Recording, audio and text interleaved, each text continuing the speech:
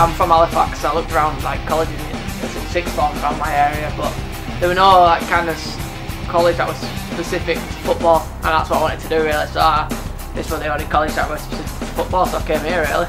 Well, obviously I was at secondary school, so um, choices at sixth form you had to do three choices, and um, Craven College you can just solely it was on one subject, so it was a sport inside that I wanted to do. Originally I just wanted to do like sport, but I didn't realise it would based around what you like to do because like there's a rugby side and there's a football side, so they asked me what I like doing, so I like playing football, so got on the football course and it's been good since then.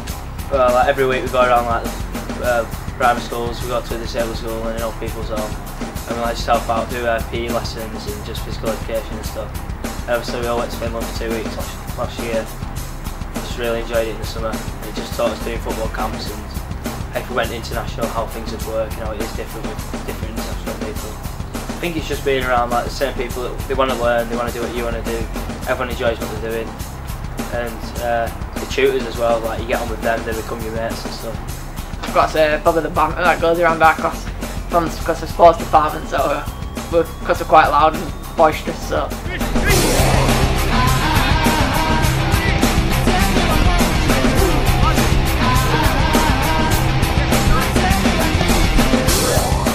Train two times a week and we have a match every um, every week so it's pretty pretty full on. So we're on here we're on here four days a week so nearly every day is practical. Some of the some of the units is practical work as well like in the sports coaching you actually have to deliver a session and stuff like that. So. I think just the experiences of being around like a group of lads who all enjoy the same thing and uh, I think like obviously a lot of us are going to go uni and stuff and it's going to help us out like. And also we've been to Finland where we got work experience internationally, so speaking like language barriers and stuff like that.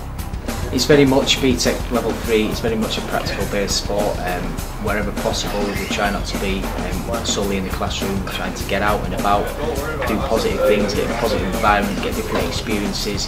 It's very much on the job kind of thing, learning through coaching, development. So yeah, we've got plenty of students that have gone on to university, um, coaching in clubs, throughout our um, course there's also been students have been successful going to America to get coaching jobs out there, scholarships. Uh, we have to do practical sessions like gym work and stuff for our units, so we're not always sat in a classroom. We try and get out as much as we can because it's what we like to do. In terms of football at college, we have two teams at the moment and we're looking to um, develop a female team for next year, so we can very possibly have three teams next year.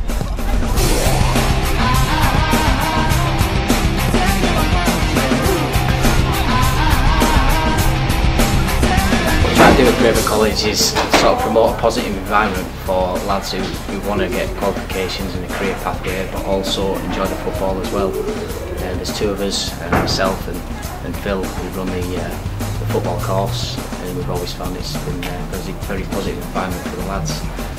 Um, lads get the opportunity to go to Finland. It's like a soccer camp kind of thing, which we had six days to do coaching.